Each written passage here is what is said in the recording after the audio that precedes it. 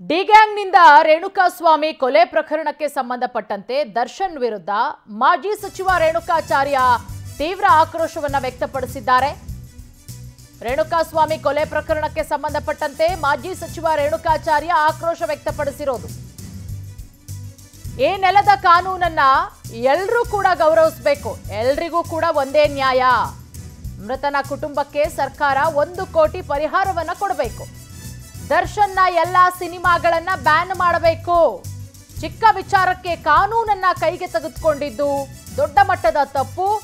Set ಬಂದಿದ್ರೆ ಎರಡೆಟ್ಟು ಕೆನ್ನೆಗೆ ಹೊಡೆದು ಕಳಿಸ್ಬೇಕಿತ್ತು. ಆರೋಪಿಗಳಿಗೆ ಕಾನೂನಿನ ಪ್ರಕಾರ ಕಠಿಣ ಶಿಕ್ಷೆಯಾಗಬೇಕು. ದಾವಣಗೆರೆಯಲ್ಲಿ ಮಾಜಿ ಸಚಿವ ರೇಣುಕಾಚಾರ್ಯ ಹೇಳಿಕೆಯನ್ನ ಕೊಟ್ಟಿದ್ದಾರೆ.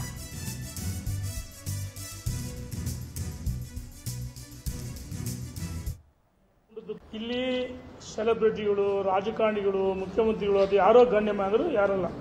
ಕಾನೂನಿಗೆಲ್ಲರೂ ಅಡಿಯಲ್ಲಿ ಒಂದೇ.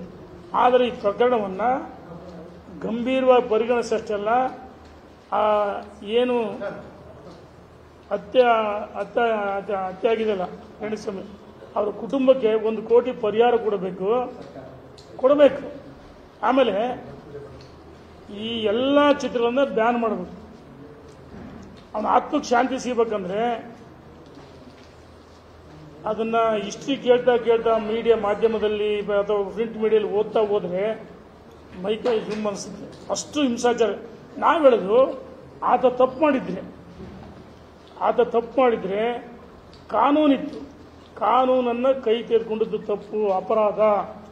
ಅಥವಾ ನಾನೇ ಆಗಲಿ, ನನಗೆ ಯಾರಾದರೂ ಬೈತಾರೆ ಅಥವಾ ಬೇರೆ ರೀತಿ ಮೆಸೇಜ್ ಹಾಕ್ತಾರೆ ಸೋಷಿಯಲ್ ಮೀಡಿಯಾದಲ್ಲಿ ಗಂಡಸಕ್ಕೆ ನನಗೆ ಅಧಿಕಾರ ಇಲ್ಲ.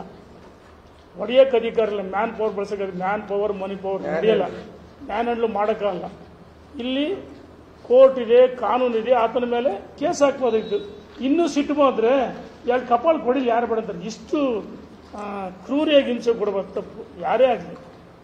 ಇದಕ್ಕೆ ಸರಿಯಾದ ಶಿಕ್ಷೆ ಆಗ್ಬೇಕಂತ ಒತ್ತಾಯ ಮಾಡ್ತೀವಿ. ಇಲ್ಲಿ ಸೆಲೆಬ್ರಿಟಿಗಳು